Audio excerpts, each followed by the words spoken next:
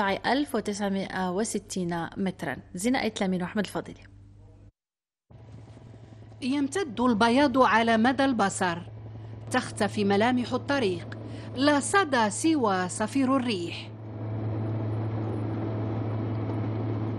تحاول الآلة جاهدة اختراق سمك الثلوج لتحدث منفذا أمام العابرين بين آزرو وميدل. لا سطوة هنا إلا للون الأبيض الذي كسى كل شيء. للمكان جمال آسر قد يهون على المسافرين المتريثين طول الانتظار من أجل المرور. بعض المواطنين ما كيتفهموش هذه الحالة كيقول لك أودي ضروري ما غادي ما غادي ندوزو من الطريق كنديروا لهم déviation على خنيفرة ولا بولمان. لا يقتصر العمل على إزاحة الثلوج على الجرافات والكاسحات.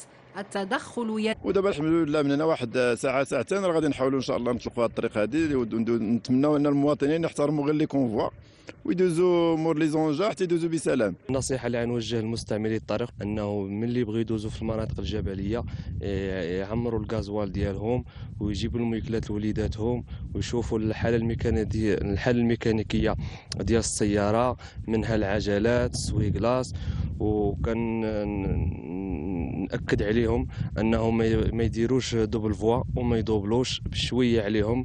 راه واخا حنا كن déneigيو راه باقا باقا الريح وباقا الثلج وصل علو الثلج في بعض الأماكن إلى متر ونصف. وهوى المحرار إلى ثلاث درجات تحت الصفر وتكون الجليد على الطرقات. أما الطريق الوطني ما بين آزر وميدلز فقد فتحت اليوم أمام السيارات دون الشاحنات